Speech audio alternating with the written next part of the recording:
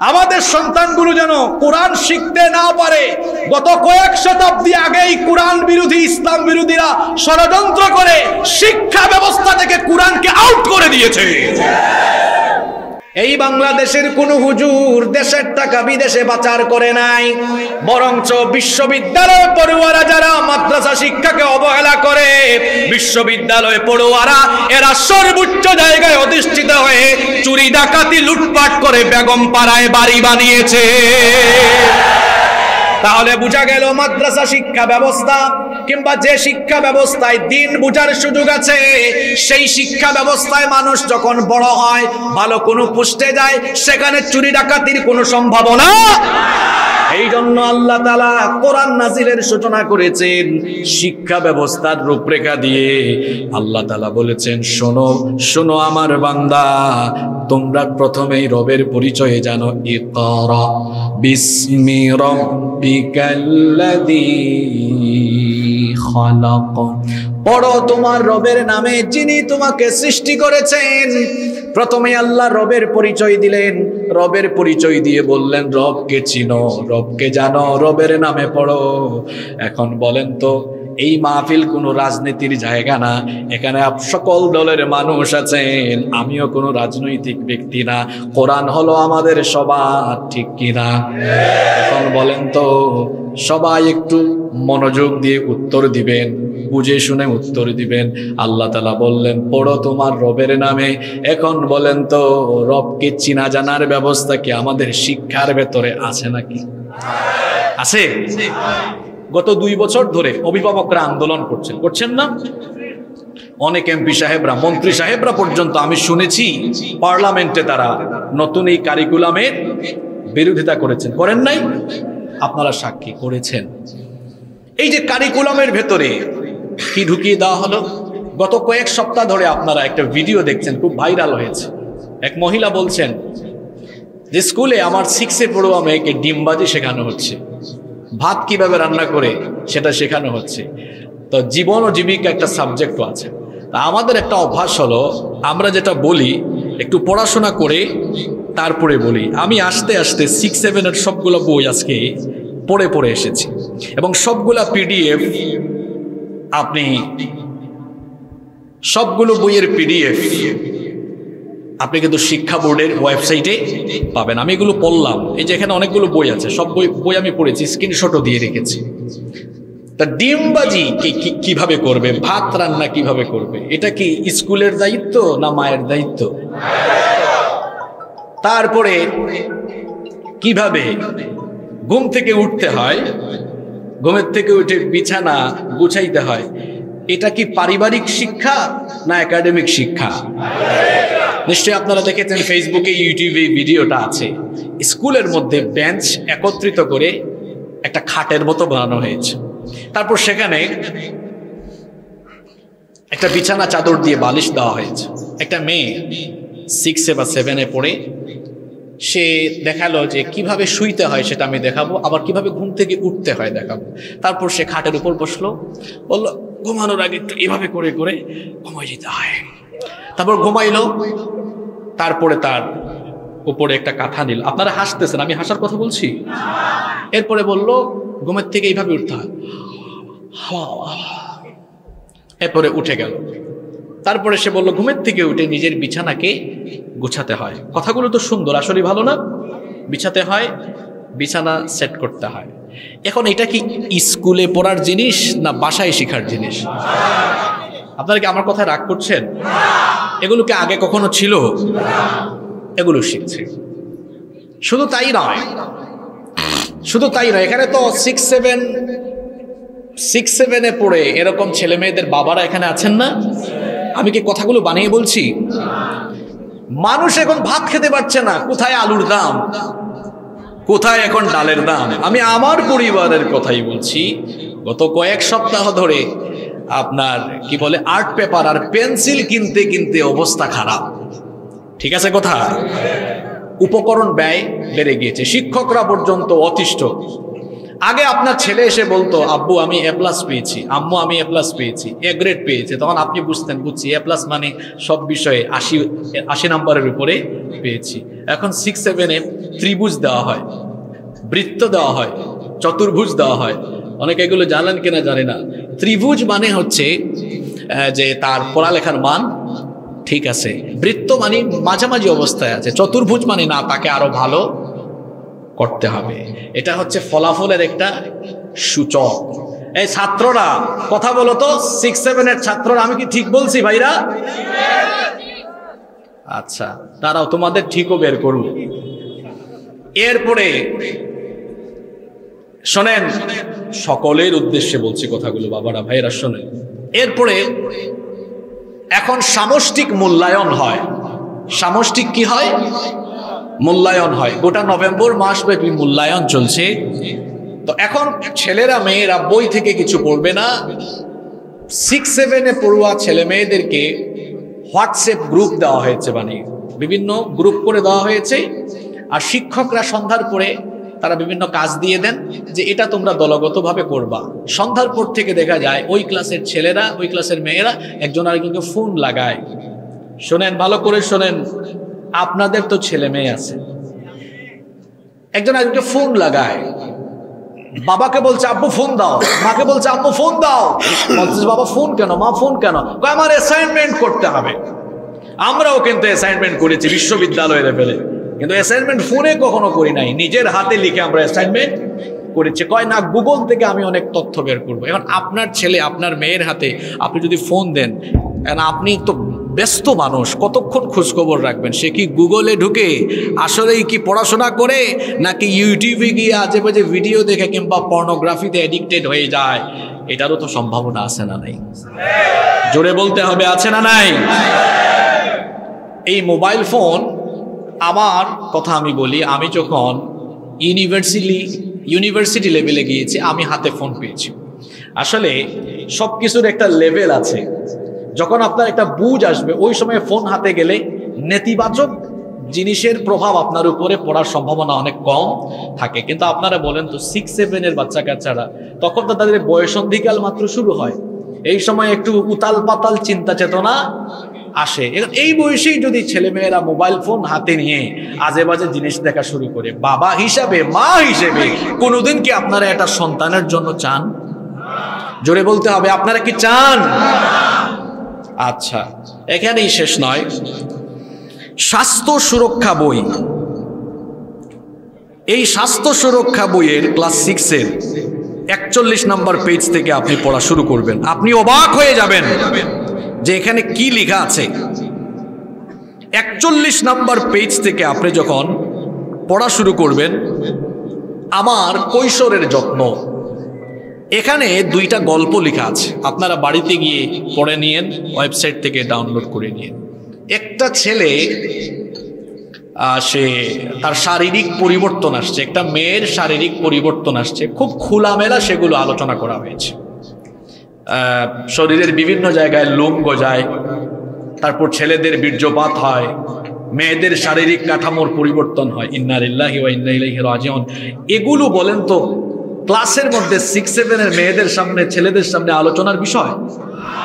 একটা মেয়ের মাসিক শুরু হলে তার মা আছেন, তাকে সাপোর্ট দেওয়ার জন্য। বাড়িতে এগুলো সব বুঝাই দেওয়া হয় অটোমেটিকলি এখন ছেলে মেয়েদের সামনে শিক্ষক যদি এগুলো আলোচনা করেন, তাহলে বিপরীত লিঙ্গের প্রতি, ছেলের প্রতি মেয়ের এটা অ্যাট্রাকশন শুরু হওয়ার সম্ভাবনা আছে না নাই? আর সম্ভাবনা যে আছে, খুব সুন্দর মিলানো আছে। এটা তৃতীয়, দ্বিতীয় অধ্যায়। তৃতীয় অধ্যায়ে দেওয়া হয়েছে, এসো, বন্ধু হই। এসো কি হই?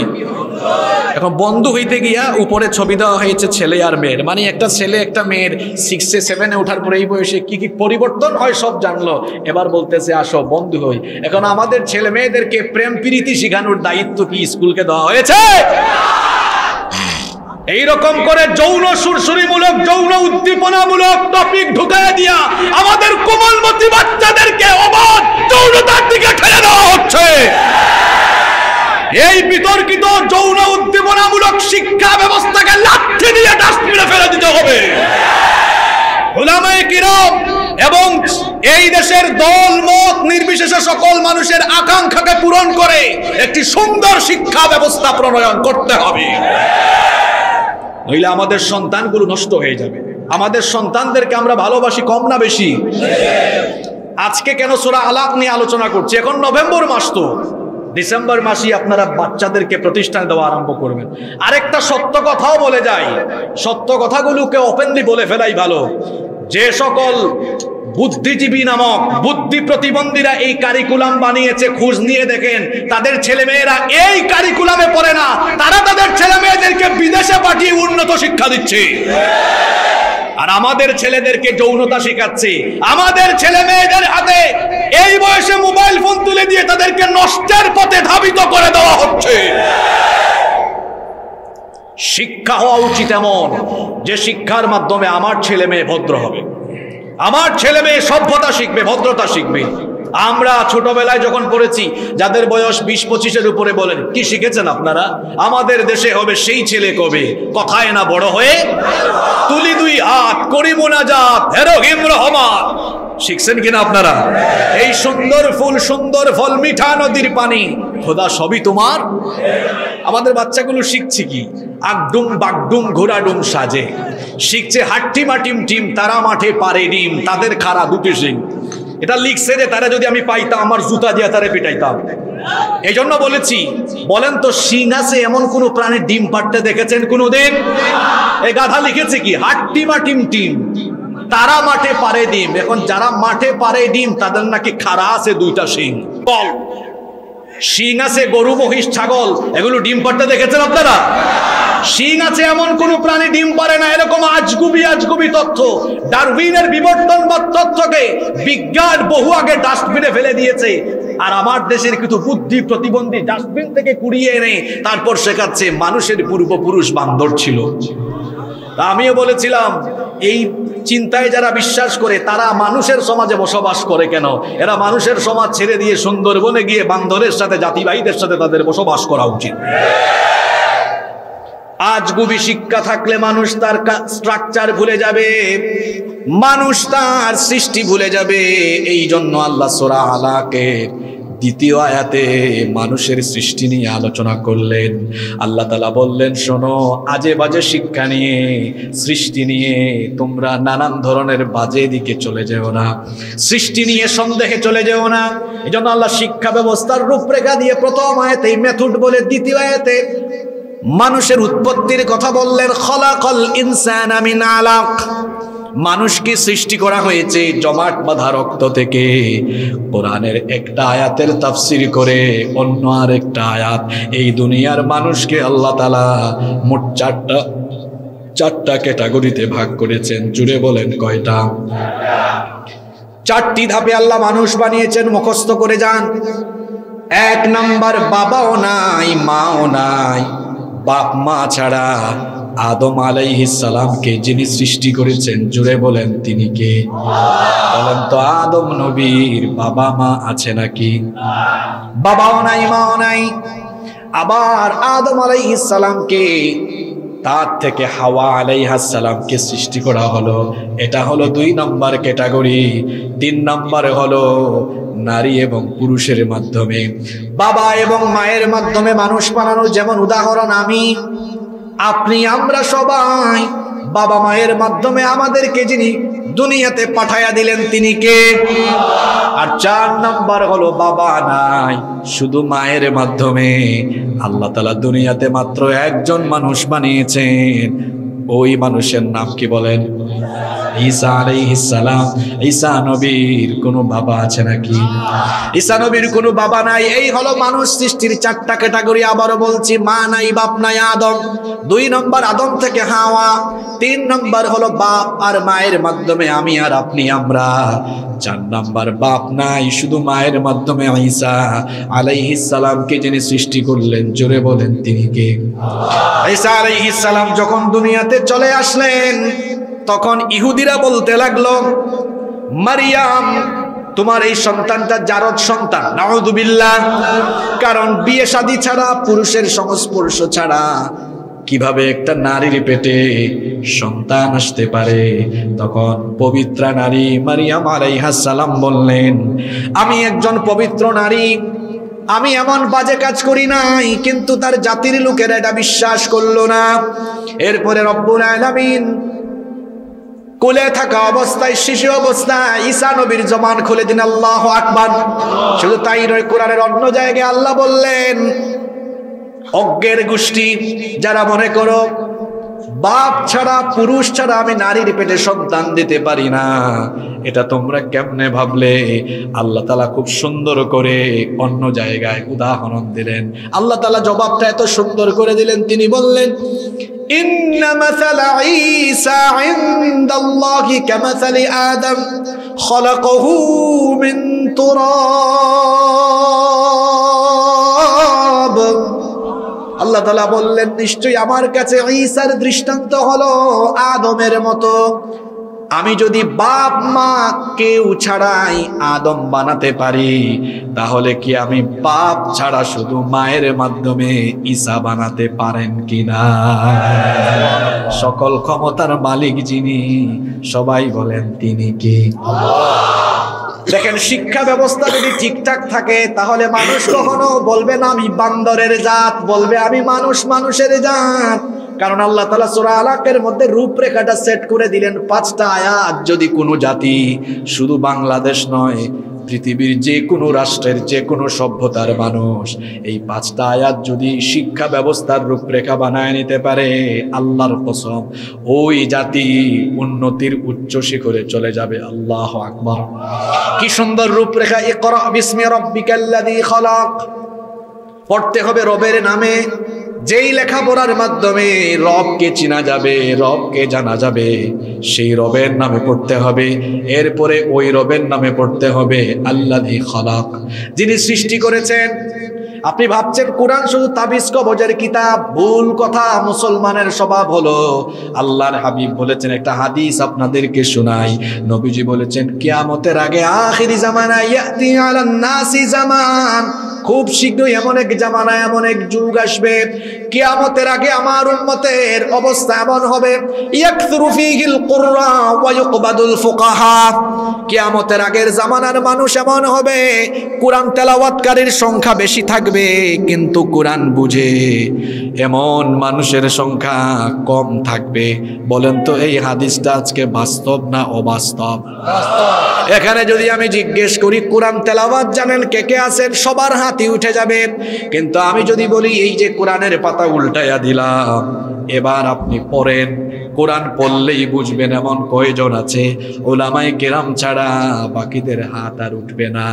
আহারে, এটা কয়েক শতাব্দী আগ থেকে চলে আসা এটা মারাত্মক ষড়যন্ত্র। শিক্ষা ব্যবস্থাকে ভাগ করে দিয়ে কোরআনের শিক্ষা, দিনের শিক্ষা আলাদা, আর জাগতিক শিক্ষাকে আলাদা করে দিয়ে আমরা মুসলমান এই জাতিটাকে একেবারে পঙ্গু করে দেওয়া হয়েছে। এই যে অনেক জায়গায় আমরা বলি, ওয়াজ হয়, আমল কম হয়। এর কারণ হলো, একদিনের ওয়াজে তো গোটা কোরআন বুঝায় দেওয়া যাবে না। যদি শিক্ষা ব্যবস্থায় কোরআন ঢুকায় দেওয়া যায়, আর মানুষ যদি কোরআন বুঝতে পারে, দেখবেন ওয়াজ কম হলেও চলবে। কোরআন যদি মানুষ বুঝে, মানুষ সত্যের পথে চলে আসবে। ঠিক তো কইলেন, কিন্তু আপনাদেরকে তো এখন একটা কথা বলব। রাগ করেন না আপনারা। আপনাদের ছেলেমেয়েরা যেন ফ্লুয়েন্টলি ইংরেজিতে কথা বলতে পারে। অলেভেল এলেভেলে পড়াচ্ছেন অসুবিধা নাই, পড়ান। আমার আমাদের কোনো আপত্তি নাই। ইংলিশ মিডিয়ামে পড়াচ্ছেন, ভালো কথা। ব্রিটিশ কারিকুলামে পড়াচ্ছেন, ভালো কথা। আপনার ছেলে মেয়ে যেন ক্লাস সিক্স সেভেন থেকে ইংরেজিতে সুন্দর করে কথা বলতে পারে, আপনি ঘরের মধ্যে দুই, তিনজন টিচার রেখেছেন আর বলেছেন, স্যার, শোনেন, আমার ছেলে, আমার মেয়ে কিন্তু ভালোভাবে ইংরেজিতে কথা যেন বলতে পারে, এই ব্যবস্থা করেন। নইলে অক্সফোর্ড হার্ভার্ডে ক্যামব্রিজে ইউরোপে আমেরিকায় গিয়ে পড়াশোনা কীভাবে করবে? ভালো কথা, যাতে দেশের বাইরে গিয়ে উচ্চশিক্ষারে ভাষা শেখাচ্ছেন ভালো। তো এখন আপনাদেরকে বলি, ইংরেজি কেউ যদি শিখে ফেলে, তাহলে ইংরেজি পত্রিকা, আমাদের দেশে অনেক ইংরেজি পত্রিকা আছে না? দ্য ডেইলি স্টার অনেকগুলো ইংরেজি পত্রিকা আছে। পত্রিকা পড়লে বুঝবে, একটা ম্যাগাজিন পড়লে বুঝবে, ইংরেজি কোনো লেখা দেখলে বুঝবে। তো সন্তানকে ইংরেজি শেখানোর কারণে ফজিলত হলো এই যে সন্তান যেখানে ইংরেজি দেখছে, বুঝে ফেলতেছে। কিন্তু আপনি যদি সন্তানকে ঠিক একইভাবে ইংরেজি শেখানোর পাশাপাশি আপনার ঘরে দুই তিনজন আলেম রেখে প্রয়োজনে আপনি যদি বলতেন, হুজুর, আমার ছেলে আমার মেয়েকে আর বেশি খান। যাতে করে কোরআন খুলবে। আর অবস্থাটা এমন হবে, যোগ্যতা এমন। আল্লাহ আল্লাহ হচ্ছেন তিনি, যিনি ব্যতীত অন্য কোনো ইলাহ নাই। তিনি চিরঞ্জীব, চিরস্থায়ী। তিনি আপনার উপরে সত্য সহকারে কিতাব নাজিল করেছেন। বাইনা এবং এটা হচ্ছে সত্যায়নকারী একটা কিতাব। ও আনজালাত তাওরাত ওয়াল ইনজিল, আর তিনি তাওরাত এবং ইনজিল নাজিল করেছেন মিন ক্বাবলু ইতিপূর্বে হুদাল্লিন নাস এগুলো মানুষের জন্য হেদায়েত। এভাবে শব্দে শব্দে কোরআন পড়বে, শব্দে শব্দে বুঝবে। সূরা ফাতিহা থেকে নিয়ে নাস পর্যন্ত কোরআনের পাতা উল্টাবে, প্রত্যেকটা শব্দের অর্থ বুঝবে। পাতা উল্টাবে, প্রতিটা শব্দের অর্থ বুঝবে, প্রতিটা আয়াত বুঝবে। এই রকম যোগ্যতা যদি আমাদের ছেলে মেয়েদের পনেরো, ষোলো, সতেরো বছর থেকে চলে আসে, আমাদের সন্তানগুলো আর খারাপ পথে যাওয়ার কোনো সম্ভাবনা আছে? আছে। আমাদের সন্তানগুলো যেন কোরআন শিখতে না পারে, গত কয়েক শতাব্দী আগেই কোরআন বিরোধী, ইসলাম বিরোধীরা ষড়যন্ত্র করে শিক্ষা ব্যবস্থা থেকে কোরআনকে আউট করে দিয়েছে। এজন্য আমাদের সন্তানগুলো কোরআনের শিক্ষা থেকে আজকে বঞ্চিত। নবী এবং সাহাবিদের যুগে, কোরআনে করিমের শিক্ষা ছিল তাবে ঈদের যুগে, সেলফে সালেহদের যুগে কোরআন শিক্ষা বাধ্যতামূলক ছিল। একটা হাদিস আমার মনে পড়ে গেল।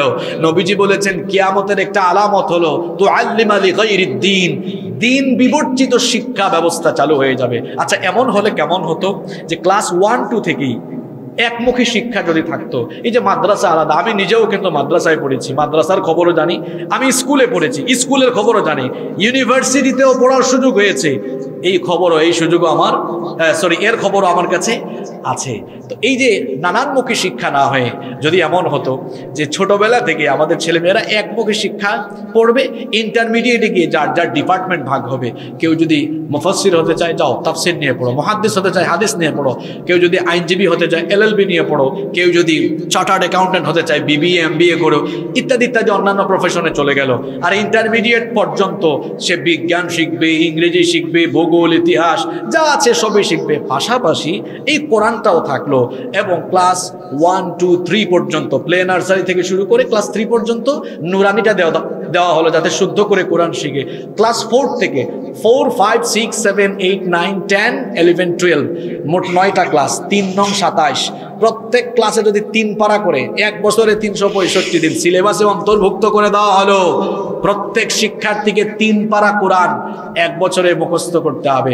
দেখা যেত, অনার্স, মাস্টার্সে গিয়ে শেষ করে আমার ছেলে হাফেজ, আমার ছেলে ডাক্তার, হাফেজ ডাক্তার, ইঞ্জিনিয়ার, হাফেজ ইঞ্জিনিয়ার, আমার ছেলে চার্টার্ড অ্যাকাউন্টেন্ট, হাফেজ চার্টার্ড অ্যাকাউন্টেন্ট। এইরকম করে দেখা যেত আমাদের ছেলে মেয়েরা তারা তাদের কেরিয়ার সুন্দর করেছে। পাশাপাশি প্রত্যেকটা ছেলে মেয়ে দিনদার, পরহেজগার মুক্তাকি হয়েছে।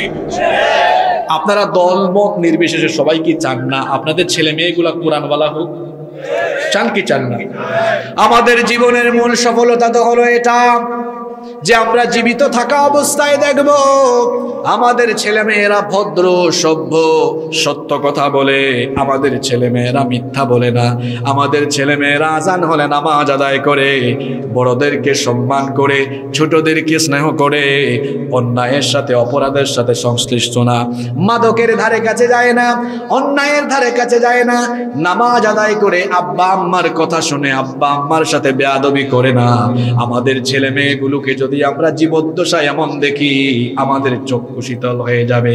আর এই রকম সন্তান যদি আমরা রেখে দুনিয়া থেকে যাই, মরার পরে ভাড়াটিয়া হুজুর এসে জানাজা দেওয়া লাগবে না। আপনার নিজের ছেলে যখন জানাজার নামাজি ইমাম হয়ে দাঁড়াবে, আহারে আমি আমার নিজের অনুভূতির কথা শেয়ার করি। আমার বাবার জানাজা আমি যখন ইমামতি করেছি, আমার এখনও মনে পড়ে, চারটা তাকবির দিতে গিয়ে আমি স্তম্ভিত হয়ে গিয়েছি, বারবার আটকে গিয়েছি, চক্ষু দিয়ে পানি পড়েছে, কারণ নিজের বাপের নিজের মায়ের জানা যায় যদি সন্তান দাঁড়িয়ে যায়, তাহলে আবেগ অনুভূতি কাজ করবে, ভাড়াটিয়া হুজুরের চাইতে কম না বেশি। ছেলেটাকে ডাক্তার বানান, ইঞ্জিনিয়ার বানান, লয়ার বানান, কোনো অসুবিধা নাই। কিন্তু ছোটবেলা থেকে তাকে কোরআন শিখায় ফেলেন, দিন শিখায় ফেলেন। যাতে করে আপনার ছেলে, আপনার মেয়ে, আপনার জানাজাটা দেয়, আপনার ছেলে মেয়ে যেন আপনি মারা যাওয়ার পরে আপনার জন্য দোয়া করে সারা দুনিয়ার সাগর, মহাসাগরের পানি দিয়ে কবরে জাহান নামের আগুন নেভানো যাবে না। কিন্তু যদি আপনার কলিজার টুকরা সন্তান আপনার জন্য দুই ফুটা চোখের পানি ছেড়ে আপনার জন্য দোয়া করে, এই দুই ফুটা চোখের পানির এত দাম, এই দুই ফুটা চোখের পানি সন্তানের নাকের ডোগায় আসার আগে, এই দুই ফুটা চোখের পানি দিয়ে আল্লাহ ওই সন্তানের মা বাবার কবরের জাহান নামের আগুন চিরতরে নিভায়া দিবে। এই রকম দিনদার সন্তান আমরা চাই কি চাই না।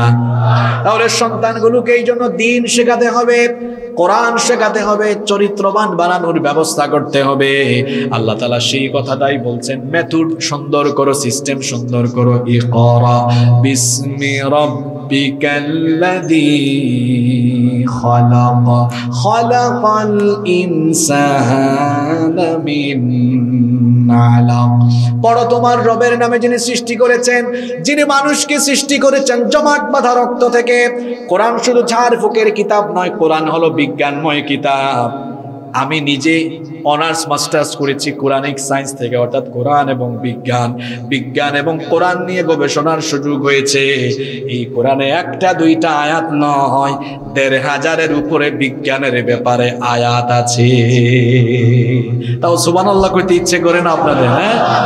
Big bang theory cosmology astronomy human embryology geology physics chemistry এরপরে আপনার জিওলজি মেরিন সায়েন্স বিজ্ঞানের এমন কোনো শাখা নাই যে ব্যাপারে এই কোরআনের তথ্য নাই। যেমন আজকে যে সুরা থেকে আলোচনা হচ্ছে, এই সুরার দ্বিতীয় আয়াতে সৃষ্টি তত্ত্ব বলা হয়েছে। মানুষকে সৃষ্টি করা হয়েছে জমাট বাঁধা রক্ত থেকে। ঊনবিংশ শতাব্দীতে যখন সর্বপ্রথম বিভিন্ন যন্ত্রপাতি আবিষ্কার হলো, যন্ত্রপাতির কল্যাণে বিজ্ঞানীরা মানুষকে মায়ের পেটের ভেতরে সন্তান কীভাবে দশ মাসে ধাপে ধাপে ধাপে ধাপে বড় হয়। অর্থাৎ ভ্রূণের বিকাশ কীভাবে সাধিত হয়? আজ থেকে মাত্র একশো বছর আগে বিজ্ঞান আমাদেরকে জানিয়েছে। এখন দেখা যায়, চার মাস, পাঁচ মাসে বাচ্চার নড়াচড়া মুভমেন্ট মায়ের পেটের ভেতরে আছে কিনা আলট্রাসন করলে দেখার সুযোগ আছে না নাই? আলট্রাসন থাকার কারণে ডাক্তাররা এখন বলে, আপনার চার মাস আপনার সন্তানের ওজন এখন পাঁচশো গ্রাম। এই যে যন্ত্রপাতির কারণে পরীক্ষা করে জানা যাচ্ছে, এখন তার কোন অবস্থা।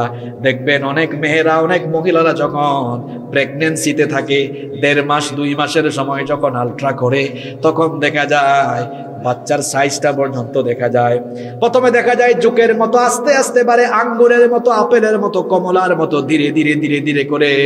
একটা বাচ্চা দশ মাসে মায়ের পেটের ভেতরে পূর্ণতা পায়, এটা বিজ্ঞান জেনেছে মাত্র একশো বছর আগে। আর যেই কোরআনকে মুল্লাদের কিতাব মনে করে বাচ্চারা শিখাইলেন না, এই কোরআনটা কেমন সাইন্টিফিক শোনেন, মায়ের পেটের ভেতরে কীভাবে সন্তানের ভ্রূণের বিকাশ সাধিত হয়, আপনার যে বিজ্ঞান, ফুটানি করা বিজ্ঞান জেনেছে একশো বছর আগে। আল্লাহর কোরআনে হিউম্যান এমব্রয়োলজি, ভ্রূণের ক্রমবিকাশের এই স্তর দেড় হাজার বছর আগে যিনি সুন্দর করে কোরআনে বর্ণনা করে দিলেন তিনি কি কি সুন্দর করে আল্লাহ হিউম্যান এমব্রয়োলজির ভ্রূণ বিকাশের এই স্তরগুলোকে কোরআনে বলেছেন শোনেন আল্লাহ বলছেন ওয়ালাকাদ খালাকনাল ইনসানা মিন সুলালাতিন মিন طين ثم جعلناه نطفة في قرار مكين ثم خلقنا النطفة علقة فخلقنا العلقة مضغة فخلقنا المضغة عظاما فكسونا العظام لحما. আল্লাহ তালা বলছেন, শোনো বান্দা, তোমাকে কীভাবে বানিয়েছি? তুমি তো কিছুই ছিলে না। অস্তিত্ব ছিল না, নাম, ঠিকানা কিছুই তোমার ছিল না। বান্দারে, আমি তোমাকে কেমনে বানালাম শোনো? পুরুষের এক ফুটা স্পাম আর মহিলাদের অভাব, এই দুটোকে একত্রিত করে অভারির ভেতরে আমি প্রথমে তোমাকে, আল্লাহ বললেন, ফি করার মাকিন সুরক্ষিত জায়গায় রেখে দিলাম। ও বান্দা, কিসের এত অহংকার তোমার তোমাকে তো এমন এক ফোঁটা নাপাক পানি থেকে আল্লাহ বানানো শুরু করেছেন। যেই নাপাক পানি বের হয়ে গেলে মানুষের উপরে গোসল ফরজ হয়ে যায়। আল্লাহ বলছেন, সেই নাপাক পানি ফুটাকে তোমার মায়ের জরায়ুর ভেতরে আমি একটা সুরক্ষিত জায়গায় রেখে দিলাম। এরপরে সেই নাপাক পানি ফুটাকে জমাট বাঁধা রক্তে পরিণত করলাম। এরপরে সেই জমাট বাঁধা রক্তকে গুস্তপিণ্ডে পরিণত করলাম। অতপর সেই গুস্তপিণ্ডকে আমি বড় একটা হাড্ডিতে রূপান্তর করলাম। অতপর সেই হাড্ডির উপরে গুস্তের পোশাক দিলাম, তখনও আমার হাত পা ছিল না, চোখ, নাক, ঠুট, কান কিছুই ছিল না। আল্লাহ বলছেন, এবার আমি তোমার চক্ষু দিলাম, নাক দিলাম, ঠুট দিলাম, কান দিলাম, হাত পা দিলাম। তখনও তোমার সাইজ খুব ছোট। এরপরে আমি কি করলাম শোনো? ওয়ানুকিররু ফিল আরহামি মা নাশাউ ইলা আজালিম মুসাম্মা। তোমার মায়ের মাসিকের রক্ত বন্ধ করে দিয়ে রক্তগুলো তোমার নাবির সাথে আমি কানেকশন লাগায়া পাস করে দিলাম মায়ের রক্ত খেয়ে খেয়ে দশ মাস পর্যন্ত। ধীরে ধীরে করে তোমার শরীরটা বড় হতে লাগল, হাত বাড়লো, পা বাড়লো মাংস বেশি বাড়লো। ইলা আজালিম মুসাম্মা, নির্দিষ্ট একটা সময় পর্যন্ত আমি তোমাকে বড় সড়ো করায়া, এরপরে তোমানুখ রিজুকুম তিফলা। অতপর ছোট্ট বাচ্চার সাইজে মায়ের পেটের ভেতর থেকে আমি আল্লাহ তোমাকে বের করে দুনিয়া দেখিয়েছি। ঊনবিংশ শতাব্দীতে বিজ্ঞানীরা যন্ত্রপাতি আবিষ্কারের আবিষ্কারের পরে এই ধাপগুলো জানতে পেরেছেন, অথচ কোরআনে এই ধাপগুলো আরও দেড় হাজার বছর আগে বলা হয়েছে। এই যে আমি বলছিলাম, আপনার ছেলে মেয়েকে কোরআন শিখান, এই কোরআনে কত বৈজ্ঞানিক তথ্য বলতে বলতে তো কয়েক রাত লাগবে, কিন্তু বেশি তো বলা যাবে না। ধৈর্য হারা হয়েন না, আমি আর দশ পনেরো মিনিট কথা বলব। দেখেন, আরেকটা সাইন্টিফিক তথ্য দেই, এই যে ব্যক্তি শনাক্তকরণের জন্য আরেকটা সাইন্টিফিক প্রক্রিয়া হলো ফিঙ্গারপ্রিন্ট ফিঙ্গারপ্রিন্ট বুঝেন না আপনারা? পৃথিবীতে আটশো কোটি মানুষ একজনের সাথে আরেকজনের ফিঙ্গারপ্রিন্টের মিল আছে? আমাদের দশটা হাতের আঙ্গুল একটার সাথে আরেকটার মিল নেই। আমরা বিদেশে যখন যাই এয়ারপোর্টে এই জন্য কি করি আমরা? এই ফিঙ্গারপ্রিন্ট নেই সিম রেজিস্ট্রেশনেও গেলে দেখবেন ফিঙ্গারপ্রিন্ট কারণ আপনারটার সাথে অন্য কারোটার কোনো মিল আঠারোশো সালের আগে পৃথিবীর মানুষেরা জানতো না ব্রিটেনে সর্বপ্রথম এটা আবিষ্কার হয়েছে। এরপরে সারা দুনিয়ায় এই তথ্য ছড়িয়ে গিয়েছে। এখন আপনারা যখন মেয়র অফিসে যান, উপজেলা অফিসে যান, নিবন্ধনের জন্য, ভোটারের জন্য ফিঙ্গারপ্রিন্ট দেন। ভূমি অফিসে যখন দলিলের জন্য যান, সেখানেও ফিঙ্গারপ্রিন্ট দেন। ভোটের সময় ফিঙ্গারপ্রিন্ট দেশের বাইরে ফিঙ্গারপ্রিন্ট পাসপোর্ট অফিসেও ফিঙ্গারপ্রিন্ট কারণ আপনারটার সাথে আরেকজনের কোনো মিল নাই। বিজ্ঞান এটা জেনেছে মাত্র দুইশো বছর আগে। বাচ্চাটাকে কোরআন শিখালেন না, অথচ এই কোরআনে এই সাইন্টিফিক তথ্য আরও দেড় হাজার বছর আগে দেওয়া হয়েছে। আপনি যদি কোরআনের পঁচাত্তর নম্বর সোরা, সুরাতুল কিয়ামা এর তিন এবং চার নম্বর আয়াত পড়েন, দেখেন আল্লাহ কত সুন্দর করে এই ফিঙ্গারপ্রিন্টের তথ্য দিলেন। আল্লাহ তারা বললেন আয়াহ সাবু আল্লান বালা কাদিরিনা আলা আন নুসাউইয়া বানানা যারা মনে করে আমি মারা যাওয়ার পরে আমার শরীর যখন মাটি ভক্ষণ করে ফেলবে, হাড্ডি গুড্ডি, অস্থি পিঞ্জর সব যখন আলাদা আলাদা হয়ে যাবে, তখন কীভাবে আমার হাড্ডি, মাংস, অস্থি পিঞ্জরে জোড়া লাগিয়ে আবার আমাকে জিন্দা করা হবে? আল্লাহ বলছেন, বান্দারে শোন, তুই মারা যাওয়ার পরে তোর দেহের অঙ্গ প্রত্যঙ্গগুলো ছিন্ন বিচ্ছিন্ন হয়ে যাওয়ার পরে সেগুলোকে আমি কেবল জোড়া লাগাবো না, বরং তার পাশাপাশি, বালা কাদিরিনা আলা আন নুসাউইয়া বানানা না, তোমাদের প্রত্যেকের হাতের এই যে আঙ্গুলের মাথা, আঙ্গুলের মাথার এই ছাপ পর্যন্ত আমি আবার পুনর্বিন্যস্ত করব। তাহলে বলেন তো কোরআন আগে না বিজ্ঞান আগে? কত তথ্য আপনাদেরকে দিতাম, বিজ্ঞানীদের মাথা খারাপ হয়ে গেছে। পৃথিবী, এটা কেমন? এটা গোল না চেপটা? চিন্তা করতে করতে করতে করতে আজগুবি আজগুবি তথ্য এক এক সময় তারা এক এক রকম দিয়েছে। প্রাচীন কালের বিজ্ঞানীরা বলতো, পৃথিবী মনে হয় চেপটা এরপরে ফ্রান্সিস ড্র্যাক পনেরোশো সালের পরে জলপ্রতে ভ্রমণ করে বললেন, পৃথিবী হলো গোল। এরপরে পৃথিবী গোল। এই তথ্য আজকের আধুনিক বিজ্ঞানে ভুল। আজকের আধুনিক যুগের বিজ্ঞানীরা স্যাটেলাইট আবিষ্কারের পরে তারা বললেন, পৃথিবীটা আসলে গোল নয়, পৃথিবী হলো ডিমের মতো। ডিম তো বুঝেন আপনারা। ডিম কিন্তু একেবারে গোল নয়, গোলাকার নয়। আধুনিক যুগে স্যাটেলাইটের কারণে বিজ্ঞানীরা বললেন, পৃথিবী ডিম্বাকৃতির। অথচ আল্লাহ কোরআনে আরও দেড় হাজার বছর আগে পৃথিবীর আকৃতির কথা বললেন, ওয়াল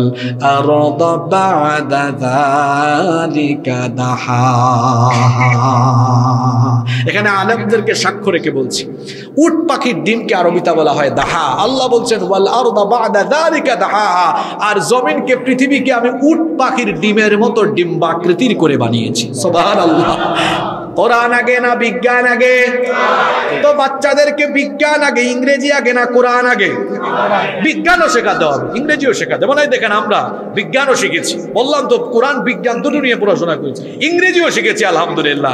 অনেকে মনে করে হুজুররা ইংরেজি পারে না। এখন তো ইয়ঙ্গার স্কলারদেরকে আপনারা দেখেন, যখন ইংরেজি শুরু করে, আধুনিক শিক্ষিতরাও তাদের সামনে মাথা নত করে বসে থাকে। আমাদের এরকম কিছু হুজুর আছে না? চিনেন তো আপনারা? এরকম বহু হুজুর আছে। সন্তানকে এরকম অলরাউন্ডার করে গড়ে তোলে। স্মুথলি ইংরেজিতে কথা বলবে স্মুথলি আরবিতে কথা বলবে। যেমন করে ইংরেজি ম্যাগাজিন ইংরেজি পত্রিকা, ইংরেজি সাহিত্য বুঝবে, ঠিক তেমনি কোরআন হাদিস পড়লে কোরআন হাদিসও বুঝবে।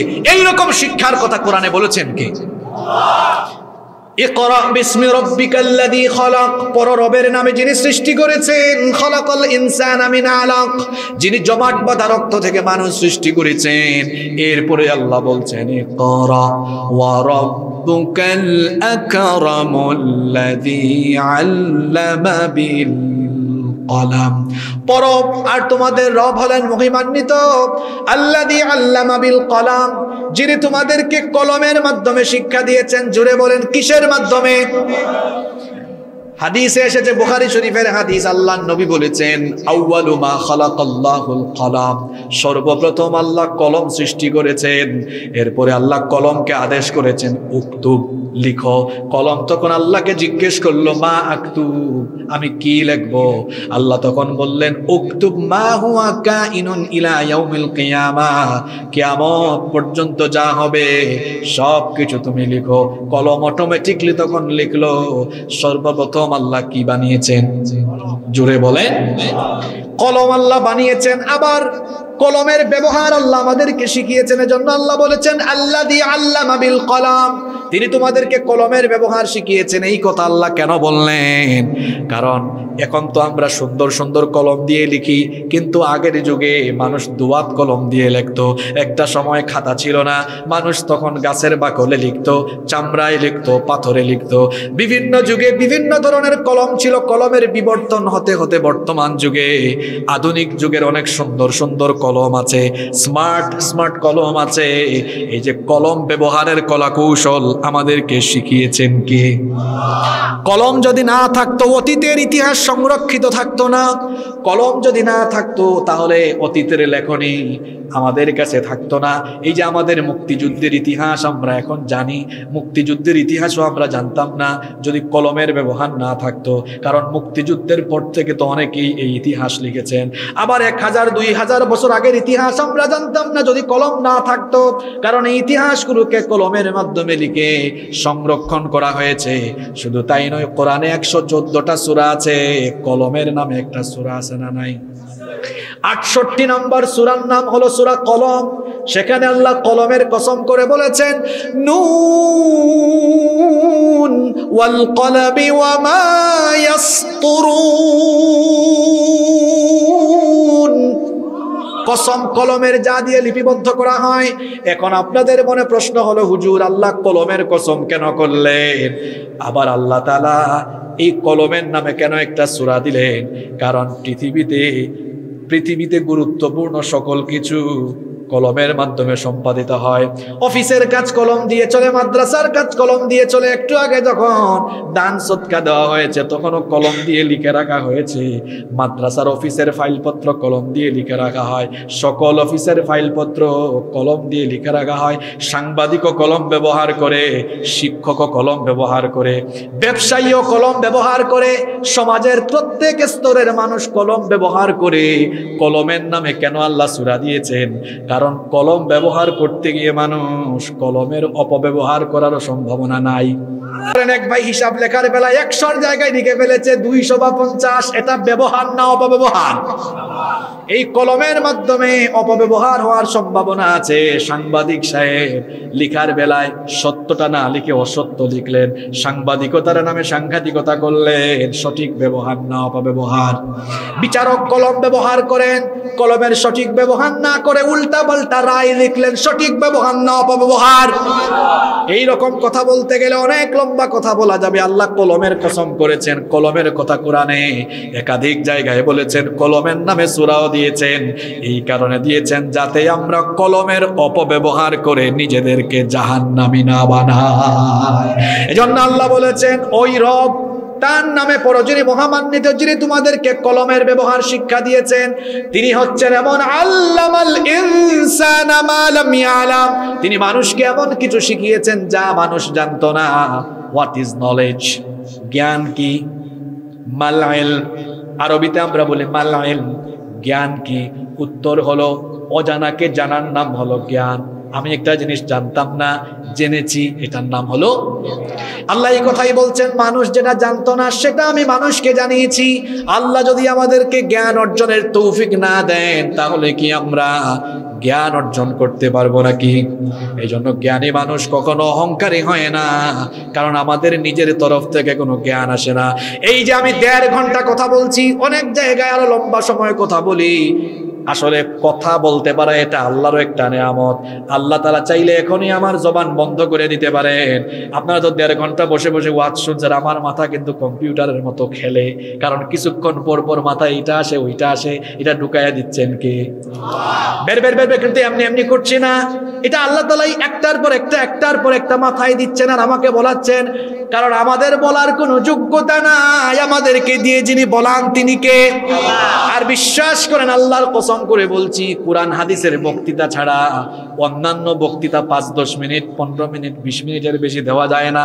দেখা যায় ঠোঁট মুখ শুকায়া যায়, আর কথা খুঁজেও পাওয়া যায় না। কিন্তু কোরআনের কথা বললে কেন শেষ হয় না?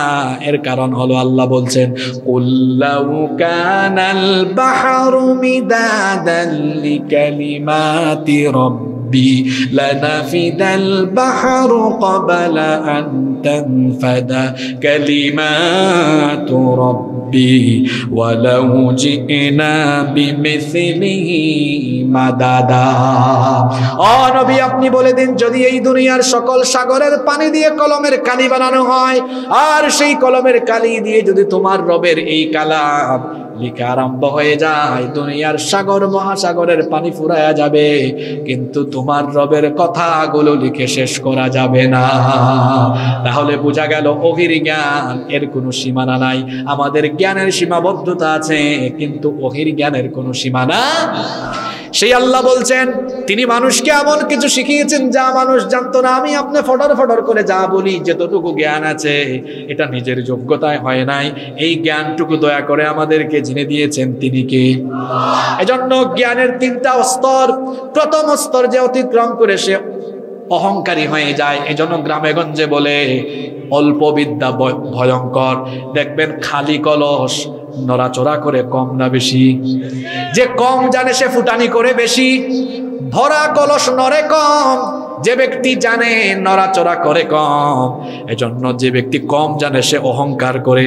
জ্ঞানের দ্বিতীয় স্তর যে অতিক্রম করে, সে কিছুটা ভদ্র হয়। আর জ্ঞানের সর্বোচ্চ স্তরে যারা যেতে পারে, তারা জ্ঞানের সর্বোচ্চ স্তরে গিয়ে বলে, আমি এখনও কিচ্ছু কিচ্ছু জানি না। জ্ঞান সমুদ্রের বেলাভূমিতে, জ্ঞান জ্ঞানের মরুভূমিতে আমি একটা তুচ্ছ বালিকনা কারণ জ্ঞান আমরা ততটুকুই রাখব, ততটুকুই আমরা জানব, যতটুকু আমাকে জানান কি। এই জন্য আয়াতুল কুরসি যখন আমরা পড়ি, সেখানেও আছি يعلم ما بين أيديهم وما خلفهم ولا يحيطون بشيء من علمه إلا بما شاء ولا يحيطون بشيء من علمه إلا بما شاء তিনি যতটুকু জানান এর বাকিরে তোমরা জানতে পারবা না এজন্য জ্ঞানের অহংকার করবেন না শুধু জ্ঞান নয় কোনো কিছুর অহংকার করা যাবে না। কারণ অহংকারের আমার কোনো যোগ্যতা নাই। আমি মানুষ, আমার অহংকারের যোগ্যতা নাই। জ্ঞানের অহংকার আমি কেন করব? কত জ্ঞানী মানুষ পাগল হয়ে গিয়েছে। আমার আপনারও অহংকারের কারণে পাগল হওয়ার সম্ভাবনা আছে না নাই? কোনো কিছু নিয়ে অহংকার করা যাবে না, ধন সম্পদের বড়াই করবেন না, অর্থবিত্তের বড়াই করবেন না। সকাল বেলার ধনীকে বিকাল বেলা ফকির বানায় দিতে পারেন কে? ক্ষমতার অহংকার করবেন না সকাল বেলার ক্ষমতাওয়ালাকে বিকাল বেলায় থাপ্পড় দিয়া জেলখানায় ঢুকিয়ে দিতে পারেন কে? এই জন্য মানুষ হবে নিরহংকারী, মানুষ হবে ভদ্র। একজন ইমানদার দুনিয়াতে তার চলাফেরার স্টাইল কেমন হবে? আল্লাহ শিখেছেন আল্লাহ শিখিয়েছেন ওয়াইবাদুর রহমান الذين يمشون على الأرض هونا. আল্লাহ বলেছেন, রহমানের বান্দারা নম্রভাবে জমিনে বিচরণ করে, অহংকার করে না, অধ্যত করে না। লোকমান হাকিম তার ছেলেকে বলেছিলেন, বাবারে, ওয়ালা তামশিফিল খবরদার খবরদার, জমিনে অহংকারের সাথে তুমি চলাফেরা করো না। সন্তানকে বলেছিলেন, অহংকারের সাথে তুমি পা ফেলো কেন? কারণ তুমি তো জমিনকে ফাটাইয়া দিতে পারবে না জমিনকে বিদীর্ণ করে দিতে পারবে না। আমি আপনি অহংকারের কোনো যোগ্যতাই রাখি না, কারণ আমরা নিজেদেরকে নিয়ন্ত্রণ করি না। আমাদেরকে নিয়ন্ত্রণ করেন কে? এজন্য কোনো কিছুর অহংকার করবেন না। আমি হাসিবুর রহমান, এখানে এসেছি, বাসায় যাওয়ার আগে আমাকে ফুটুস করে দিতে পারেন কি? এই পথ দিয়ে যাওয়ার সময় আমার মরণ হয়ে যেতে পারে। যে কোনো সময় যে কোনো মুহূর্তে আমার উপর গজব নেমে আসতে পারে, কারণ আমার নিয়ন্ত্রণকারী আমি নয় আমার নিয়ন্ত্রণ, আমার তত্ত্বাবধায়ক, আমার হেফাজতকারী যিনি তিনি কে? কারণ সকল ক্ষমতার মালিক তিনি। এজন্য আল্লাহ বলেছেন তাবারাকাল্লাযী বিয়াদিহিল মুলকু ওয়া হুয়া আলা কুল্লি শাইইন কাদির বরকতময় সেই সত্তা যার হাতে সকল ক্ষমতা, সকল ক্ষমতার মালিক যিনি তিনি কে? খবরদার মানুষকে কখনো ক্ষমতার মালিক বানায়েন না। কিসের তো ক্ষমতা? একটু পরে যখন আমরা ঘুমাবো, তো সকল ক্ষমতার মালিক আমি হলে আমি ঘুমাই কেন? ঘুমানোর সময় ভারপ্রাপ্ত ক্ষমতা আমি কার কাছে দিব? সকল ক্ষমতার মালিক হলেন তিনি লাতা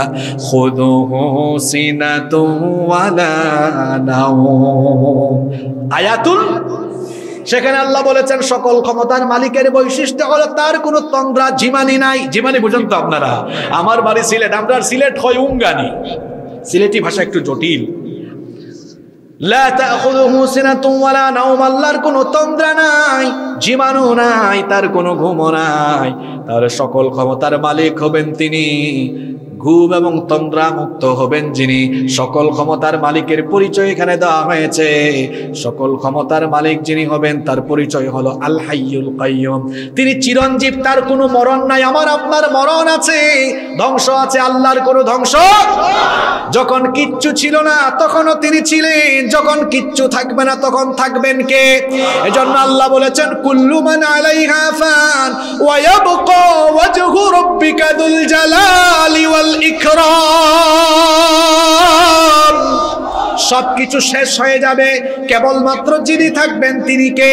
তো সব ক্ষমতার মালিক হবেন যিনি চিরঞ্জীব হবেন তিনি। সকল ক্ষমতার মালিক হবেন তিনি, চিরস্থায়ী যিনি। যার ক্ষমতার কোনো মেয়াদ নাই, পাঁচ বছর, দশ বছর, পনেরো বছর, বিশ বছর নাই। সৃষ্টির অনাদিকাল থেকে আমার আল্লাহ তার আরসের তার আরসের সমাসীন হয়ে তার কুর্সিতে আছেন, ক্ষমতায় আছেন। অনন্তকাল পর্যন্ত তিনি ক্ষমতায় থাকবেন তিনি কে? তাহলে আল্লাহর পরিচয় আমরা বুঝতে পেরেছি তো। আলহামদুলিল্লাহ, এই যে আমরা আজকে সুরা আলাকের প্রথম পাঁচটা আয়াত, নবীজির কাছে সর্বপ্রথম জিব্রিলহি নিয়ে এসেছেন কয়টা আয়াত? এই পাঁচটা আয়াতে মানুষকে জ্ঞান অর্জনের রূপরেখা, জ্ঞান অর্জনের কারিকুলাম জ্ঞান অর্জনের পদ্ধতি জানিয়ে দিয়েছেন কে? সামনে ডিসেম্বর মাস তো, বাচ্চাদেরকে এই কারিকুলামেই পড়াবেন। ইনশা খবরদার। সন্তান সন্ততি যদি নষ্ট হয়ে যায়, ভুক্তভোগী জানে মা বাবা জানে, তখন টাকা পয়সাগুলো মনে হবে বৃথা। কেন যে আমার সন্তান নষ্ট হয়ে গেল? আর যখন চোখের সামনে দেখবেন সন্তানগুলো চরিত্রবান হয়েছে, তাদের কেরিয়ার সুন্দর হয়েছে, বাবা হিসাবে আপনার মন ভরে যাবে, মা হিসাবে আপনি আনন্দিত হবেন। এখানে দল, মত, জাতি, বর্ণ, ধর্ম নির্বিশেষে সবাইকে এই সিদ্ধান্তে আসতে হবে যে আমরা একটি সুন্দর কারিকুলাম আমাদের বাচ্চাদের জন্য চাই। আপনারা চান না? আপনারা চান কিনা? এই জন্য আসুন, আমরা সোচ্চার হয়ে ঐক্যবদ্ধ হই, বিশৃঙ্খলা না করে আমরা সবাই ঐক্যবদ্ধ হয়ে দাবি জানাই যে আমরা আমাদের সন্তানদের জন্য সুন্দর একটা কারিকুলাম চাই। যে কারিকুলামের মাধ্যমে আমাদের বাচ্চারা, আমাদের সন্তানরা সুসন্তান হবে, আদর্শবান হবে, দিনদার হবে, চরিত্রবান হবে। আল্লাহ তালা আমাদেরকে বুঝার, মানার এবং দায়িত্বশীল মহলকে এই বিষয়গুলোকে অনুধাবন করার তৌফিক দান করুন। আমরা সবাই বলি আমিন। যে কথাগুলো বললাম, এই কথাগুলো মনে রাখবেন। বাচ্চাদের প্রতি যত্নবান হবেন, বাচ্চাদের প্রতি সতর্ক দৃষ্টি রাখবেন। বাচ্চাদেরকে আদর, স্নেহ, মমতা, ভালোবাসা দিয়ে যেমন প্রতিপালন করেন, ঠিক তেমনিভাবে দিনদারিতার ভিত্তিতে বাচ্চাদেরকে বড় করে তুলবেন। ইনশা আল্লাহ আল্লাহ আমাদেরকে তৌফিক দান